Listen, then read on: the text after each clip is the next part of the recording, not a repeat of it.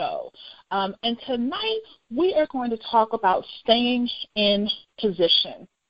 But before we do that, I just want to offer up a prayer for those um, as we are thinking about standing positions, what our you know goals are, what we need to be doing within Christ. Sometimes we need guidance for that.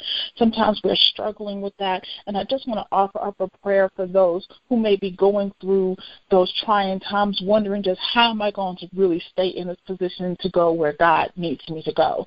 You know, Heavenly Father. I pray for guidance for not only in my endeavors, but those who are listening this evening or listening to this on the replay. I would like for you to lead us through the paths of righteousness as we've been struggling with trying to accomplish tasks on our own. Guide us, Father, as we listen attentively to the sound of your voice. We want to be receptive to your call. Bless us in everything we do and help us to rely solely on your promises. Let us know that things are possible because we believe in you. We can only do all things through you who gives us strength. We thank you. We love you. We give you all the glory, all the honor, and the praise in your Son's precious and holy name. Amen. So, let's talk about staying in position. Now, staying in position and staying in your lane are two different things. And I know some people have asked me before, what is the difference? You know, if I'm staying in my lane, I'm doing what I need to do, I'm doing what I have to do. Absolutely. You you can say that definitely. However, you know, when you stay in position, you're staying where God needs you to be. That's what you're doing. So it goes beyond just staying in a lane, keeping your head down in the grind, doing the things that you need to do. You are literally being in place where God wants you to be. So, so many of us kind of confuse the two. We say, you know what, we're in our lane, we're doing all the things that we need to do. We don't understand why we have to be so intent and in focus. And we do we really do have to be intent and focused and doing the things that we need to do. But I'm going to give a couple of scriptures that I use in reference to staying in position. And one of my favorites is James, the first chapter, verses 67. And it says, But let him ask in faith, nothing wavering, for he that wavereth is like a wave of the sea, driven with the wind and tossed. For let not that man think that he shall receive anything of the Lord. So when it means stand in position, it means staying still.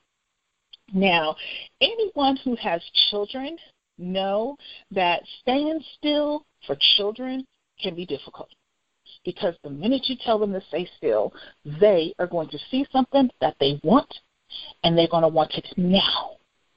And so, therefore, they're going to keep moving. They're going to try to touch it. Mommy, but look, Daddy, look. And you keep saying, sit still, don't move, don't touch that. No, you can't have that. And it's the same thing that the Father is telling us. You know, He is telling us, you know what, sit still. Stay where I put you. There is a reason I put you here, and I don't need you to move. But just like children, we're hard headed, and we want to do what we want when we want, how we want to. So, in order to stay in position, we have to be obedient. You know, if you ever think about it, from time to time, if you really listen to the Holy Spirit, He will ask you, where are you? And He's not asking you for your physical location, but rather where you are as it relates to your relationship with Him. When He asks this, it normally means you are out of position or you're starting to get out of position. Now, for me personally, it normally means I'm not spending the time with Him that is required for my spiritual development. He wants you to actually answer the question by looking at your relationship with Him and to begin to peel it apart. Now, for example, And this happens is if I would say, you know, Lord, I have not been reading and praying like I should. I have not been meditating on your word, and I'm not trusting you like I should. Like if you really assess yourself and be honest and repent to the Lord, He will help you quickly get back into position. Now, if you don't answer the question, you will find yourself drifting further and further from the Lord. And let me just elaborate on that. Um, a few years ago, I was in a position. Again, I have my own businesses, um, but I also have also worked for other people. And I was in this position, and I was frustrated. And God has always told me what He wanted me to do in reference to my businesses and in reference to ministry. However, I decided instead of putting in the work, putting in the time, and doing what I needed to do, I kind of just was like, yeah, I'm just going to get another job. And that's exactly what I did. And only three years later, I feel the same way I did. I'm unfulfilled. I'm unhappy. I'm kind of stressed. And it's just like, it has nothing to do with the money. And at first I would say that. It's like, oh, it's about the money. They're not paying me enough. They're not doing the things that they need to do. They're, they're not being there for me. I'm not getting what I'm looking for overall. And that's not what was happening. What happened was is that I was out of position. And once I was out of position, there was nothing more. I kept drifting further and further away because I was just just sitting there, just like God was like, I, I, I'm, I'm trying to get you to see and come back, but you, you so far in your own head, you so far into what you think you know, instead of doing and walking like I know. And so, when you adrift, you take the covering He has on you you know, for your protection, and it and it's substituted for something that cannot cover you, and that is your own understanding.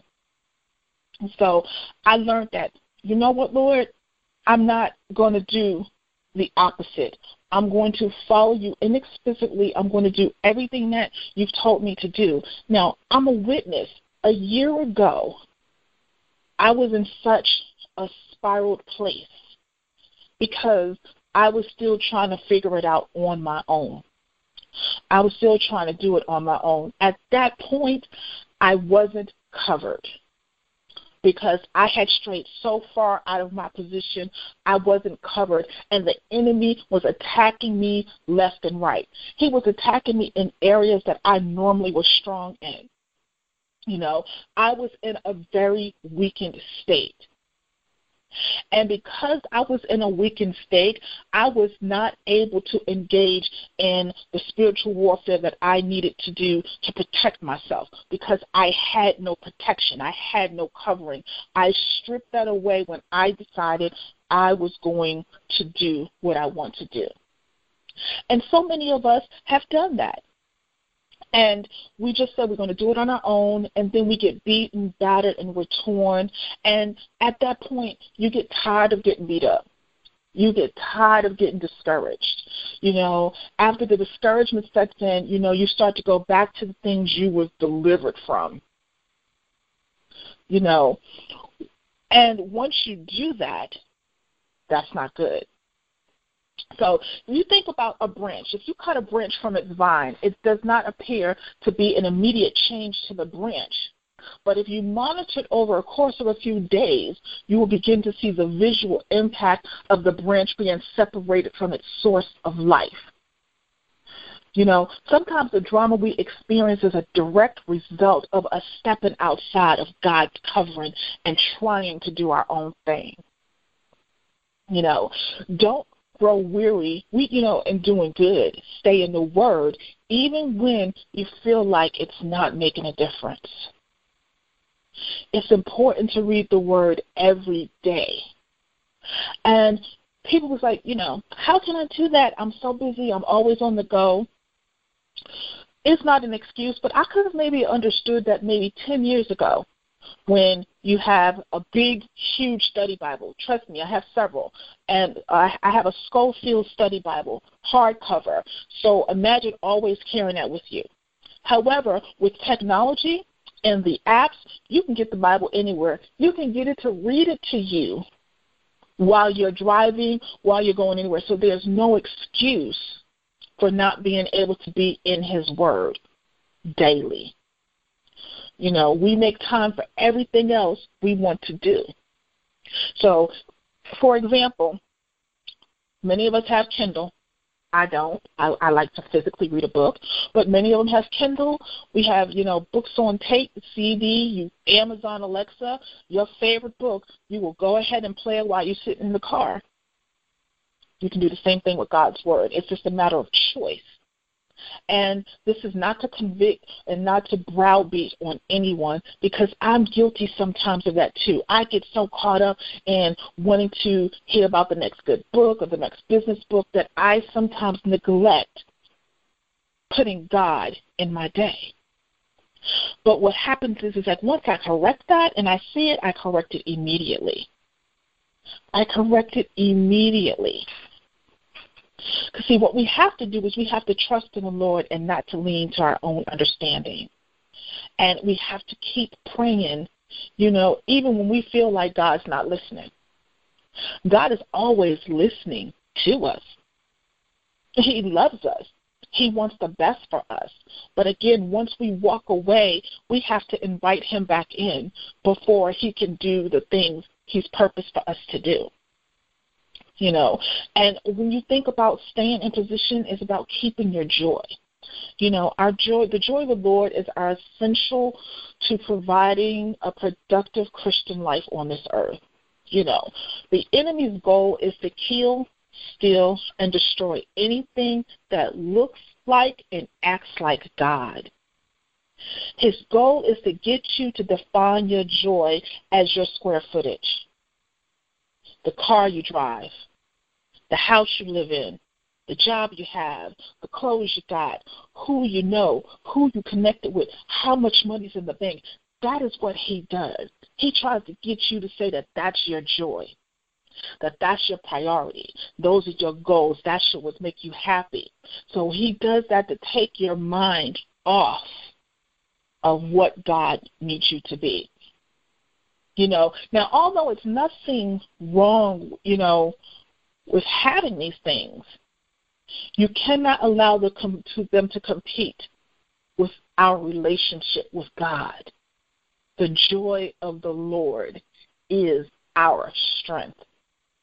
You know, sometimes we also be like, you know, why we are going through these things because sometimes we are dealing with a lot of the consequences of our actions, and we have allowed the enemy to deceive us. We've allowed that small opening for him to slither through to get us to turn our eyes away from God. You know, and if you're in that position, I have been there. I have been there. I have been there. And you always feel like it, he doesn't love you anymore. You feel like he just doesn't want you, that you've done so wrong that he can never, ever use you to build a kingdom. And again, never let anyone tell you that God doesn't love you. He loves us in spite of us.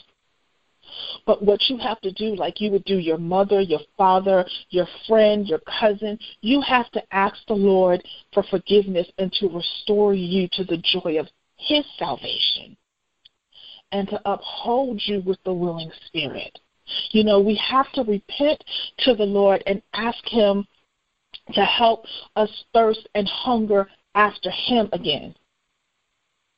You know, although it may seem like very basic knowledge to the average believer, this is how the enemy operates. Now, while we're so focused on what may be the big issues, he operates in the background you know, sifting us slowly. And that brings me to John 10:10. 10, 10.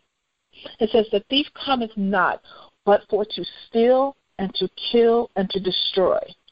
I come that they might have life and that they might have it more abundantly." what when you come out of the position and the enemy has kind of almost tried to really put a stronghold in your life, you may be questioning like, I don't understand what he wants from me. And it says, when you think about this scripture, it says, what is the, you know, you think about what is the enemy stealing? He's stealing, trying to steal your blessing. What is he killing? He's killing your dreams. What is his primary thing to destroy? Your destiny. Now, for some of you who are not football fans, I apologize, but it's going to be a football reference because I am a football fan. And it, it made perfect sense when I did it. You know, think let's think football. For those who may not understand. Basically, you have the football, you're playing the game, and your favorite team throws an interception. And when you see it, you hot. Now, the quarterback, which is God, throws the ball. That ball is your blessing. You know, and when he throws it, he intends for it to get to you. You know, he intends for it to get to you. And so he's sitting there and he's positioning. And if you've ever watched a game, you're sitting there, you're, you're seeing how he's rolling, you're seeing how he's moving, and he's just waiting. And he's waiting, and he throws it. He throws it to you, which you're the receiver. He's throwing it to you to catch.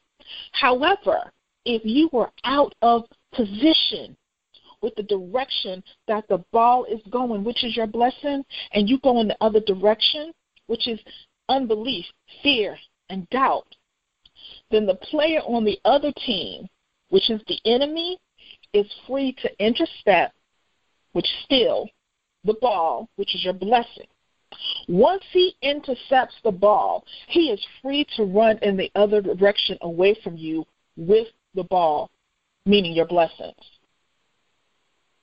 So the goal is to keep ourselves in line with God and His words by prayer and belief so that we can stay in position with the blessings God has for us.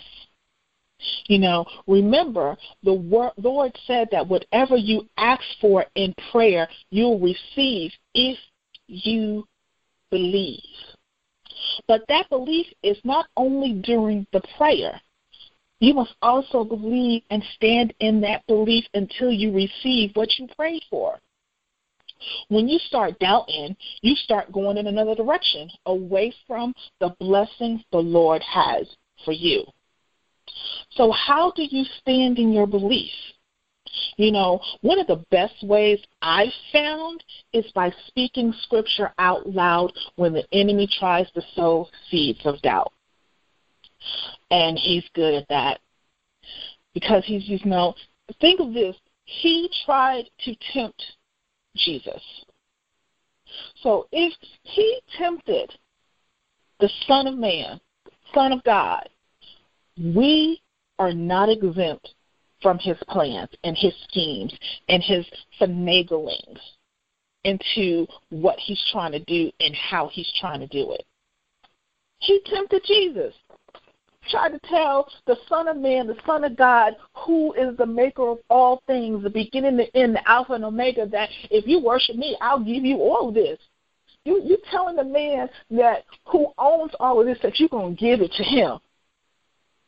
If he was so bold to do that, what do you think he would do to us? And that's the amazing thing. If if he just was so bold and said, you know what, I'm just gonna give it to you. Just go ahead and believe in me, and I'm gonna give it to you. It was just like a conversation that I was having with a colleague a couple of days ago. We have been placed on this earth, and God knows the decisions that we're going to make because He's given us free will. And sometimes we think we can outsmart God. Now, maybe none of you believe that, but I sure used to think I could. And even though I knew better, I still at least attempted and tried. I thought that I can just do this and make this better, or I'm going to go ahead and help God along with this process because I, I felt I knew better. and and it's it's hilarious because he knows you're going to do it. He knows what the outcome is going to be when you do it, and he knows there's going to be one or two things that you're either going to come to him or you're going to be stubborn and stay in the mess. Now, because we have free will, he allows us to go through this process. But with his word and his guidance, he is he is kind of guide us toward the correct thing. But like that rebellious child, we're like, I don't want to do that. I want to do this. And we decide to go left, and he's been steering us right. And then we end in Never Never Land. So don't leave from your position. Do not move. Do not get out of alignment with God's will. You know, we have to remain steadfast, unmovable, always abiding in the Word. Remaining steadfast in the faith, diligent in prayer, is applying His Word to your life. You know, follow after Him even when it gets tough. And trust me, it gets tough. It gets thick you know, the fire gets turned up to 50 million degrees, and you be like, okay, you know, I'm sweating. It's beyond sweating now. I just, I can't do this. And if you like me, I don't really like to sweat like that. I, I like to be cute, you know. But when he is putting you through uh, to take you through to the next level, cute is not gonna work with him you're going to have to do some work. You're going to have to sweat. There's going to be some tears. There's going to be some hurt. There's going to be some pulling and cleaning out infectious places. It's going to be some purging. And not only in you, but it's going to be purging from friends and family and people you knew and from situations. You know, people that you thought had your back is down the road somewhere, ain't thinking about you, and you sitting here wondering, where did I go wrong? You know, so you have to never come out of position. You know, though, again, it might be hard, and I say this all the time. It may be hard, it may be difficult, you may be times you want to throw in the towel, but it's so worth it in the end. I am a firm believer and a witness to it's so worth it in the end. You know, being in position doing what he tells you to do. Like today, I was able to go to a conference that I send I never I never can make. I'm either busy with client stuff, my own personal craziness, and I know the last time it came to Atlanta, it was in 2016, and 2015 and 2016 are years that have completely gone by me. Those were some of the roughest years that I can imagine in my adult life outside of my divorce. Those were the years that I lost so many people that were close to me, and I just felt like I was just numb. I do not remember much of that year, like those years. I know they were here, I know I was there, I know I existed, but I truly do not remember much from those years. And again, I was still just wa- aimlessly wandering, deciding to do what I wanted to do. You know, it was also in 2016 when he was trying to direct me to where he needed me to be. But I remained so wallowed up in my own grief and my own pain that I didn't want to listen to him. I'm like looking at this like, Lord, you know what I'm going through. You know what's happened. You know what I'm doing. You know why I'm going through the things that I'm going through. I ain't got time to worry about this. I need to do what I need to do to just try to make it through. And so, you know what? I ended up in a spiral yet again.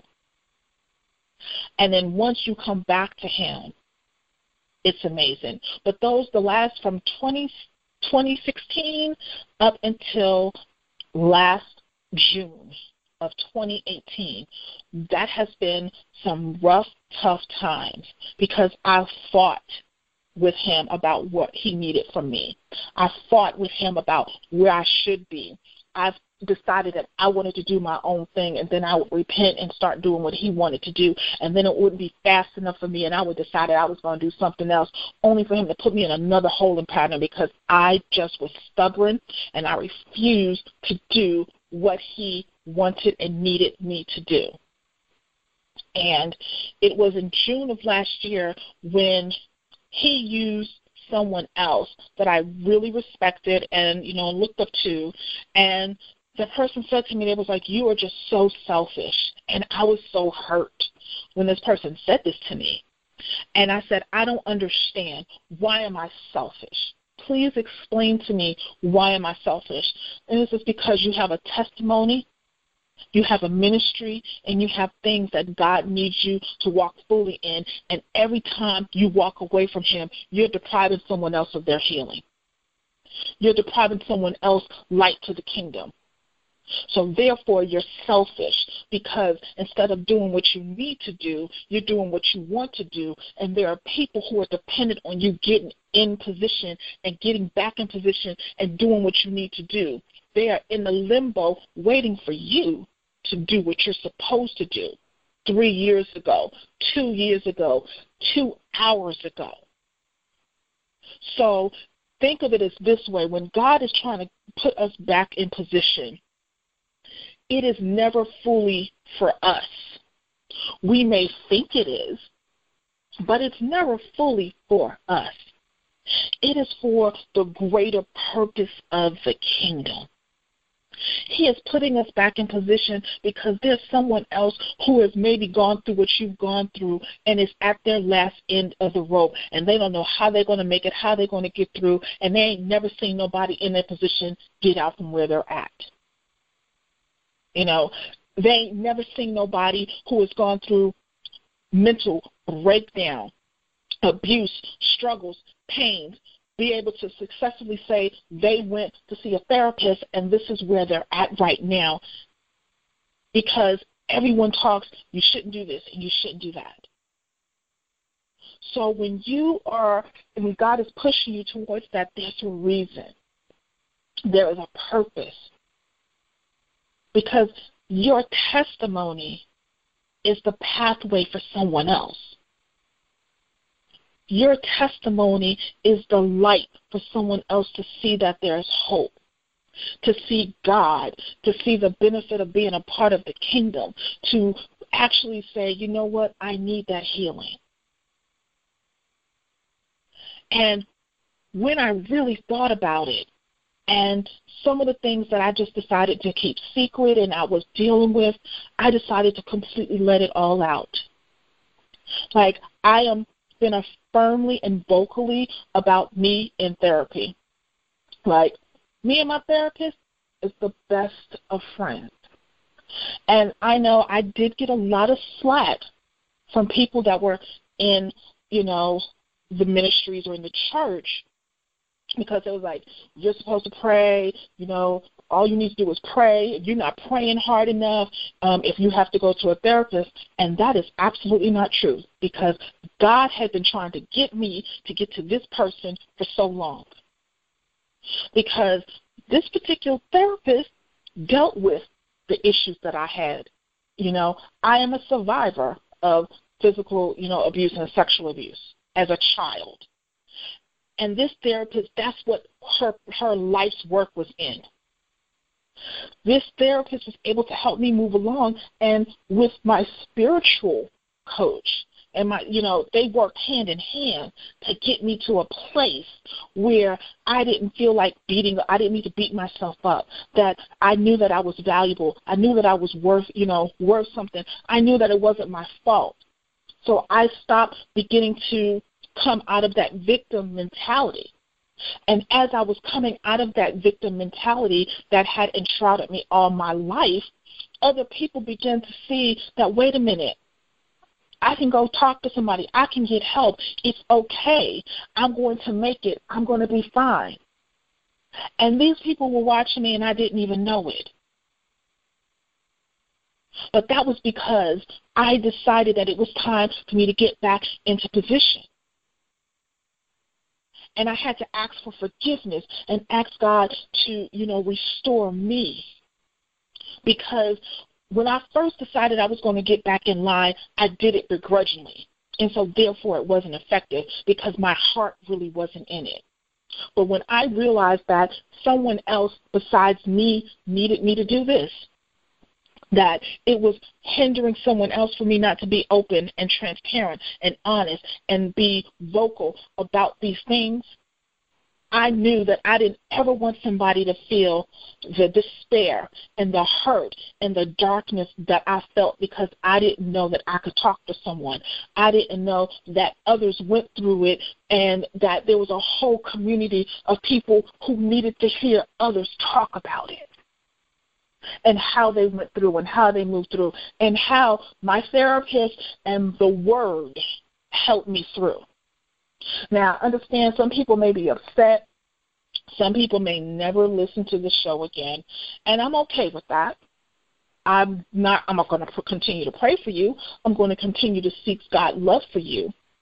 But we can no longer be a part of a victim mentality. We can no longer be selfish in what God has given to us. We can't keep holding on to it, hoping that we're going to get over something. We're going to do this. We potentially move forward and finally get it together. And, or we're waiting for us to get our lives together before we walk in the ministry that God has given us. Let me explain.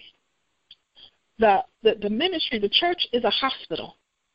And the hospital takes care of sick people. And it means all types of illnesses, all types. He doesn't, you know, prejudge and say, well, this one is more important than the other one. We are all important to the Father. We are all important to Him. So he's not going to say, well, one is better than the other, one is this, but no. And we have to get out of that.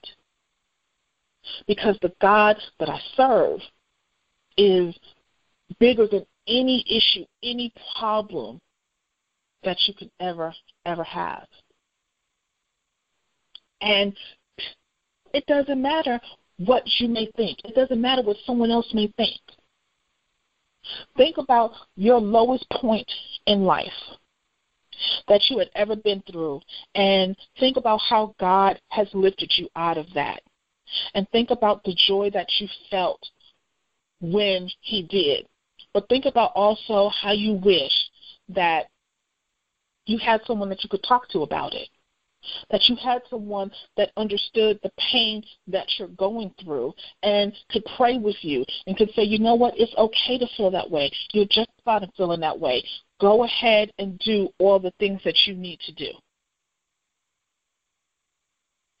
Wouldn't that make you feel better? Wouldn't it made you come out of your shell more?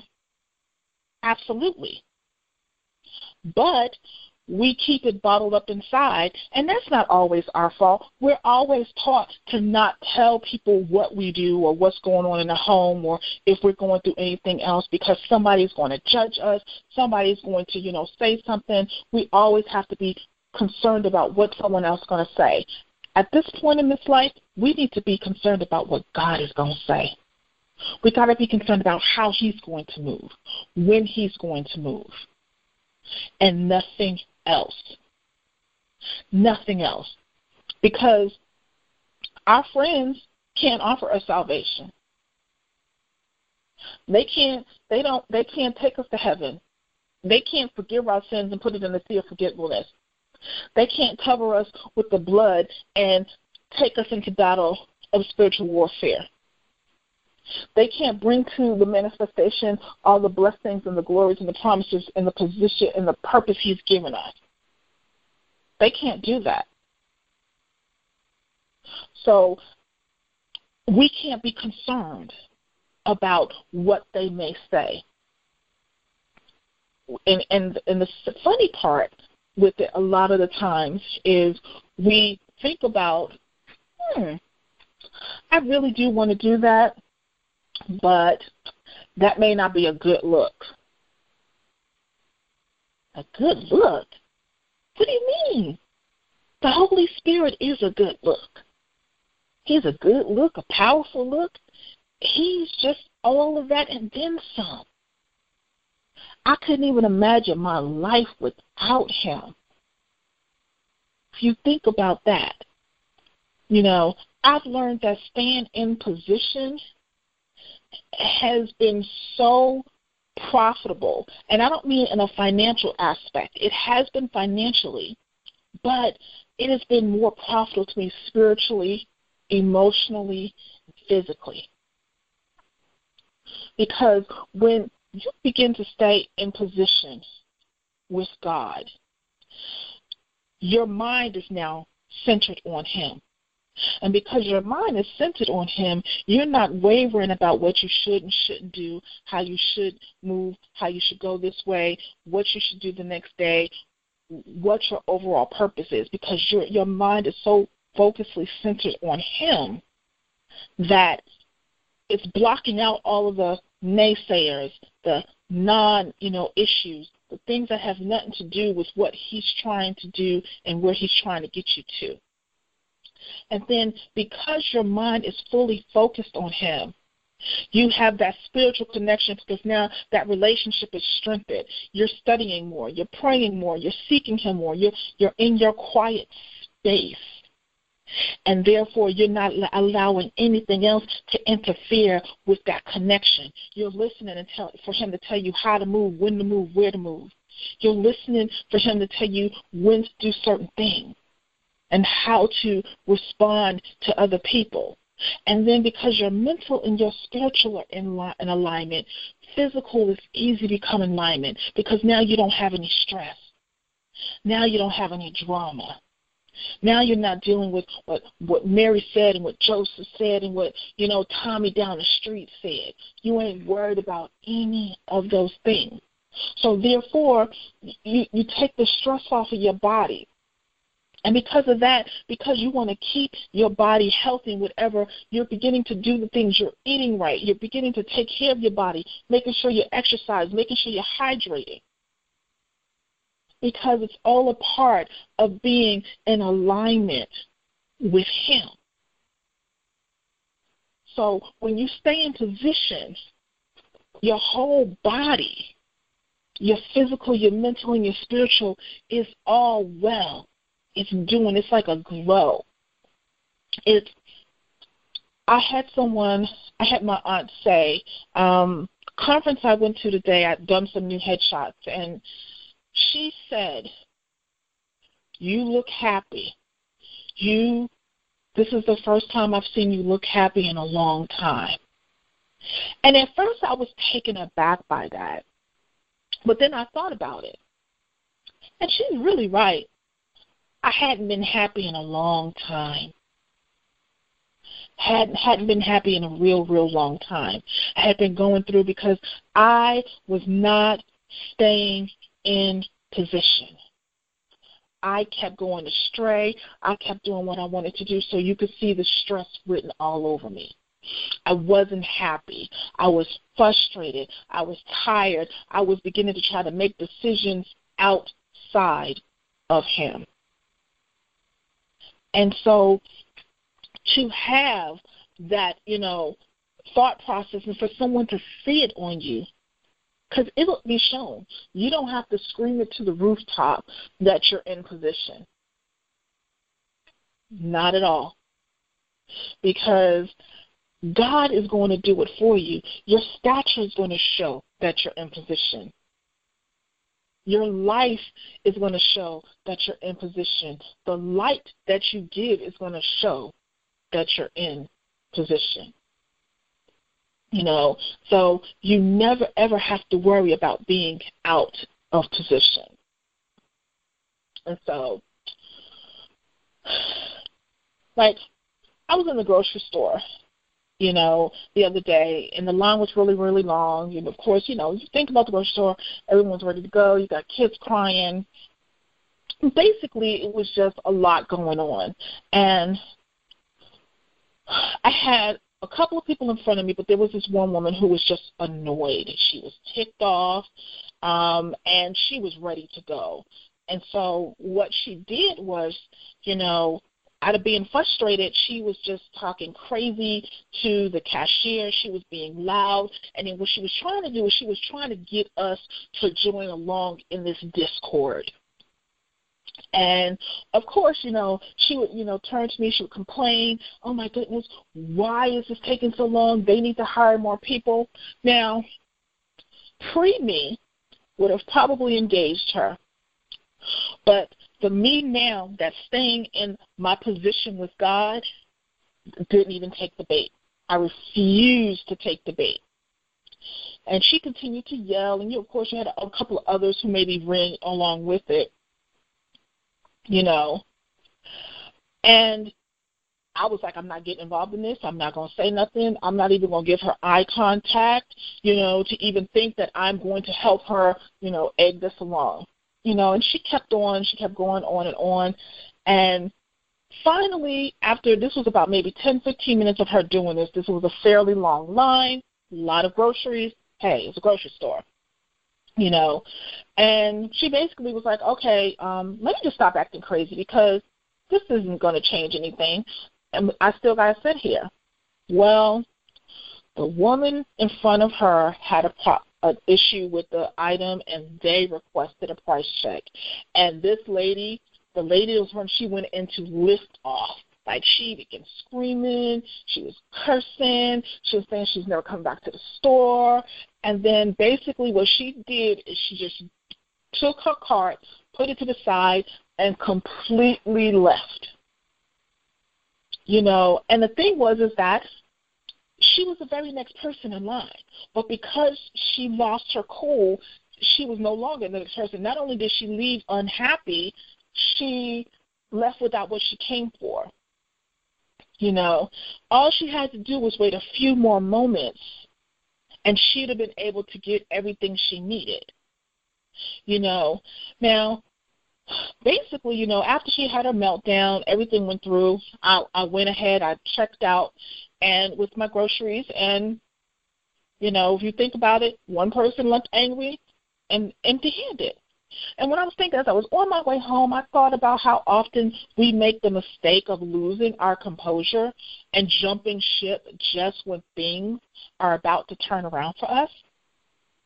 How many times have we gotten frustrated with our circumstances and forfeited our blessing simply because we refuse to wait and to stay in position? I know plenty of times I have. You know, you, you know, you might be going through your day, and if you could just hold on just a little while longer, because you're next in line for your breakthrough. You know, don't leave from your position. You know, don't move. When I think about this, it makes me think about Acts 1. You know, after Jesus had been crucified and risen, you know, he spent 40 days on earth with his disciples, you know, and when one day while he was eating with them, Jesus told these men to stay in Jerusalem and wait for a special gift he had promised them, which was the baptism of the Holy Spirit. You know, in Acts 1 5, you know, he told them in a few days something amazing was going to happen. You know, John the you know, Baptist baptized them with water, but if they had waited, he was going to be baptized them with the Holy Spirit, which would ultimately equip them to be effective in ministry. Now, what if they had doubted and gotten out of position? They wouldn't have received the most amazing gift that empowered them to be witnesses for Christ. But I'm thankful that they waited, you know, and we have their example today. You know, Acts 2 1 tells us when the day of Pentecost came, they were all together in one place. They waited in that upper room, fully assured that Jesus, what Jesus told them, would manifest. They were in the place when the power of God fell. They received everything he had for them. They were filled with the Holy Spirit. They spoke in languages they did not know and began declaring the works of the Lord. What can we learn from this? When we stay in position and wait for the manifestation of the promises of God, God always makes good on His word. You know, God is saying to you, don't move. Don't you dare walk away. Stay faithful. Keep trusting Him. Be confident that He's faithful that promise. You know, God is doing a new thing in your life and even in my life. He's empowering us to do all that He's preordained us to do.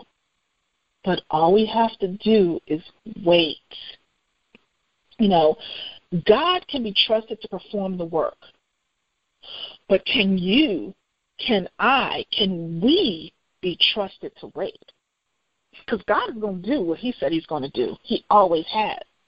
But can we stand the test and stay in position and wait for the appointed time for Him to bestow the blessings He said He's going to give us? Now, again, I know it's not easy every day you know, and others may throw in the towel and walk away. There has been times that I have thrown in my towel and lost myself for a minute and went running to pick it back up. There has been times I've thrown in the towel and gotten so far out the will that he had to restore me back to where I was at. But see, this time I'm not throwing in the towel because too much is riding on it. Too much is dependent on it. Too many people are dependent on me being in position. So it's not a job about just me any longer. And I can't be selfish in being out of position because not only do I want God to bless me, I want you to receive everything that God has promised from me being obedient. I get it now that I am a path of light for someone. And even if it's one person, that one person is going to see God through my obedience. And that is so important. You know, we might grow weary, you know, and it can be fine, but don't you dare, don't you dare, don't you dare get out of position because God has so much in store for us. He's declared blessings and favor over you. If you move out of alignment, you'll miss what God is doing. You know, and we can't miss it. You know, we think about when we were coming up and we were kids, and we would always say that we had time.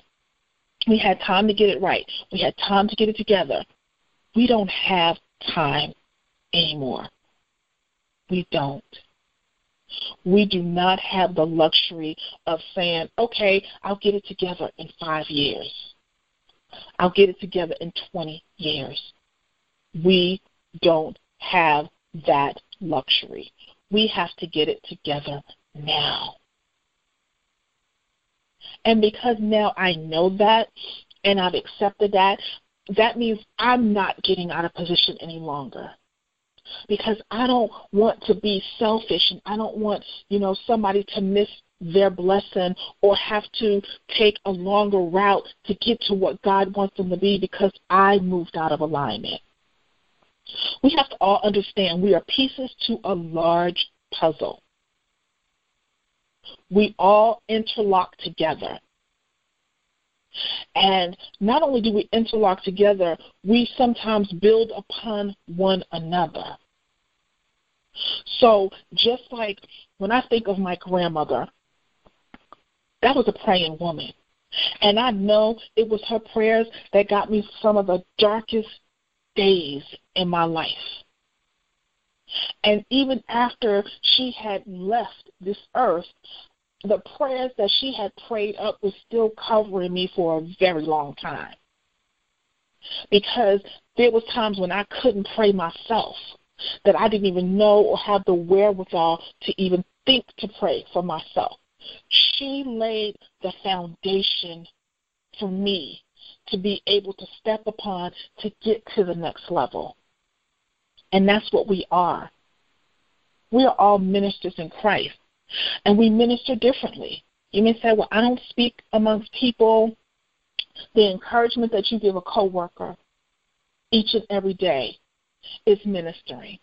The smile that you give someone each and every day you're ministering. Speaking to that person that no one ever speaks to, but you always speak to that person, you ask them how they're doing. You're ministering to that person each and every day because that is giving that person hope and faith and it's showing them love. And you don't know, they may not be getting it where they're at. So every day you show a glimpse of the kingdom and you let the light of God shine through you, you are giving somebody hope and love, and you're giving them an encounter with Christ. So they look forward. Have you ever had a group of people or certain people that always just want to be around you? And I'm not talking about the ones that pull on you, leech on you, always need something, always want something. I'm talking about those people who just bask in the glory of you. When they when they're in your presence, they leave better. They leave happier. They leave fulfilled. That's because the light of God that is shining throughout you. Sometimes it only takes your presence. And you may not understand it. You may not know because sometimes God is showing what's within us, even though sometimes we not, may not have fully accepted the call. Because we're still trying to think about and walk and learn and not figure it out on our own, but we're still seeking Him to guide us. But even in your transition, even in your journey, you're ministering. So never take it lightly that the trials and the tribulations and the struggles and the journey that you're going through is in vain. And sometimes you may be thinking, why am I going through this? Because somebody needs to see you go through it and see how God brings you out. Because in them seeing that, it's going to bring them to the kingdom and make sure that they can come out of there so someone else can do it too. You know, don't miss it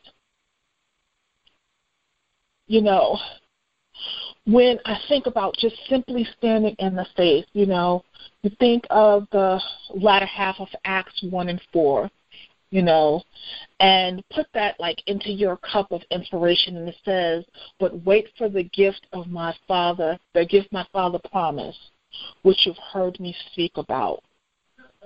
You know, the Lord is using His word to build up our faith in his promises and his provision, you know, and his unfailing word.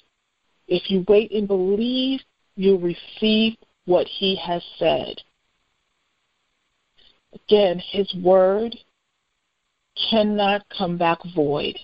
It cannot come back unfulfilled. So therefore, let us be a part of the process. Let us be a part of the journey. Because if we don't get on board, he will, and I repeat, He will find someone else to execute the plan. And know that person can't do it the way you were going to do it or the way I was going to do it. But it has to happen. And I'm going to be honest, I don't want him to leave me out of it. So therefore, that means getting and staying in position. Even when it's not fun, even when it's not, you know, the new go to, how you want to do it, does it look good? Even if, and I'm not even going to say even if, it has cost me people that I thought that was close.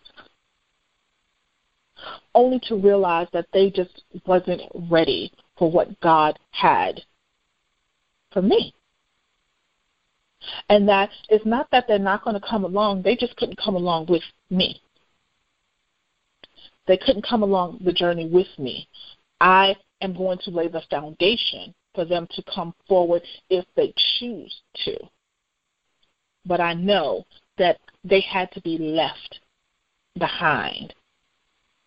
Because in taking them with me, it was going to then cause a problem and an issue. And then my focus would have been too on them and not on my creator, not on my father, not on the one who was propelling me into the purpose.